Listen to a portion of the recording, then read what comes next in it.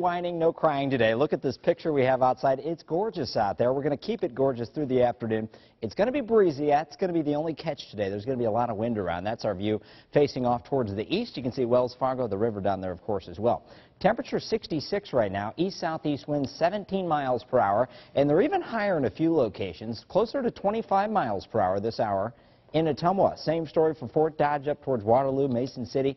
Pretty gusty winds up there as well. Notice our temperatures are generally in the mid-60s, a little cooler to the north, a little warmer to the south, but most of us sitting somewhere in the 60s. We widen it out. You see cooler air off to the north. That's not any kind of surprise, but the warm air down to the south, it's still down there. The warmest of the temps should be working their way towards us. Almost 80 degrees this hour Dodge City, Kansas. I think they're well into the 90s this afternoon. That's where the hot air is at. And in fact, that hot air is going to be working its way towards us over the next 24 hours. There's a warm frontal boundary coming up towards us. That's going to bring some of that hot air into parts of central Iowa. It looks like most of us are well into the 80s tomorrow. We could even see a few 90s into south and south central uh, and southwest portions of the state. So we look at satellite radar, and you'll notice some showers off to the north. This is all going to stay north and west of us over the next uh, 24 hours or so. For the most part, we should be dry today. There will probably be a couple of isolated showers and storms overnight tonight. In fact, here's Futurecast. This afternoon, just some high thin clouds. We'll call it hazy sunshine. I think we're dry through the daylight hours, 6 p.m.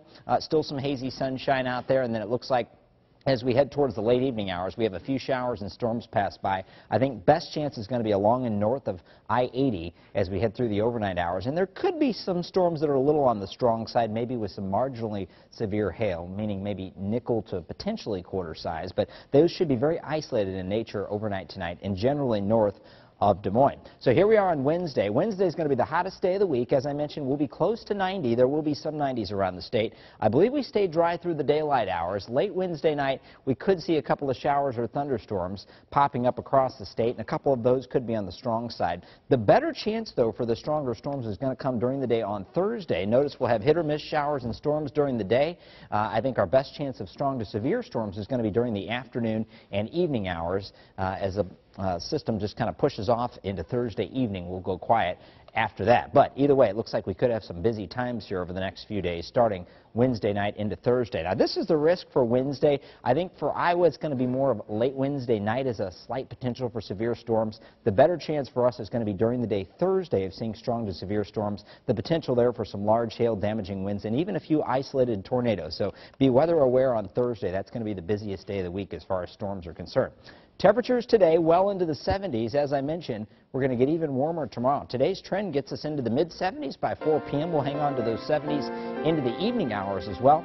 Tonight's low 62 degrees. A few storms generally off to the north of us here in the metro. Tomorrow, the hottest day of the week. Record is 92. We'll be at 89.